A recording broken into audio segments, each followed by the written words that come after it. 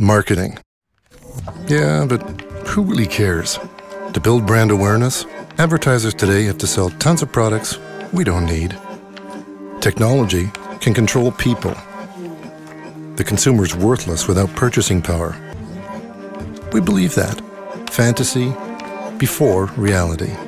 Bingo, the big idea. Our weapon of choice, visual pollution, which goes against what consumers want. We create advertising for the agency before the advertiser. That's the way we see it. Impossible challenges are big problems. We just don't believe that advertising advances day after day. Now let's look at things a little differently. Advertising advances day after day. We just don't believe that big problems are impossible challenges. That's the way we see it. The advertiser before the agency.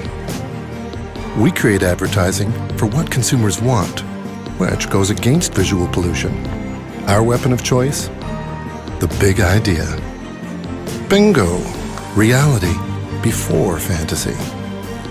We believe that purchasing power is worthless without the consumer.